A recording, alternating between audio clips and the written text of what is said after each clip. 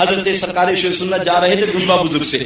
گرسائے گنج station پہنچے تو آپ ہی جیسے نوجوان تھے بیچارے۔ اللہ اللہ۔ اور داڑھی نہیں تھی۔ نارے تک بھی نارے سلط اتنے میں ٹرین آئی سامان رکھا۔ حضرت نے دعا فرمائی اور اس کے بعد فرمایا بیٹا نماز پڑھنا بولے انشاءاللہ پڑھیں گے۔ فرمایا بیٹا داڑھی رکھ لو۔ بیٹا زور سے بولو داڑھی رکھ لو۔ بیٹا داڑھی رکھ لو۔ رکھ لو۔ تو انہوں نے کہا کہ حضرت ایسی بات ہے کہ داڑھی والے کو کوئی لڑکی نہیں دیتا۔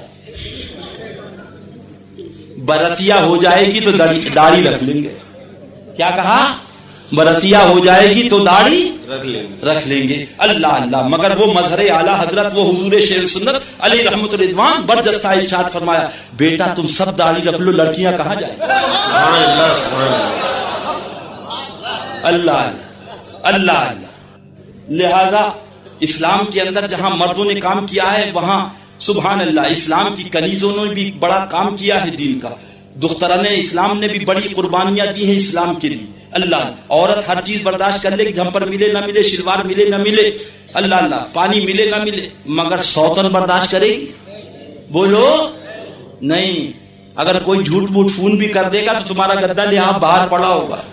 آنے دو کم وقت کو دوسرا نکاح کرنے جا رہا۔ ہاں؟ بولو، برداشت کرے گی؟ ہر مصیبت برداشت ہے، مگر ایک ملک میں دوسرا ہوم منسٹر بولو، گوارا کرے گی؟ نہیں، اللہ اللہ، لہذا مجھے عرض یہ کرنا ہے کہ انہوں نے کہا تھا، حضرت بارات ہو جائے گی تو داڑھی، زور سے بولو، داڑھی رکھ لیں گے۔ بارات بھی حضرت کی ہو گئی اور چار وکٹ بھی ہو گئی یعنی دو شہزادے بھی آ گئے اور دو شہزادیاں بھی آ گئی مگر حضرت کے داڑھی ابھی تک نہیں آئی۔ ہماری ماں بہنوں کو غور کرنا چاہیے کہیں حضرت کا دوسری شادی کرنے کا ارادہ تو نہیں؟ لہذا وہ آگے بڑھیں اور سرکار کی سنت آباد کر دے اللہ اللہ یعنی شوہر کی داڑھی رکھا دے۔ نبی کی سنت آباد کرنے کا ثواب بھی ملے گا اور سوتن آنے کا دروازہ بھی بند ہو جائے۔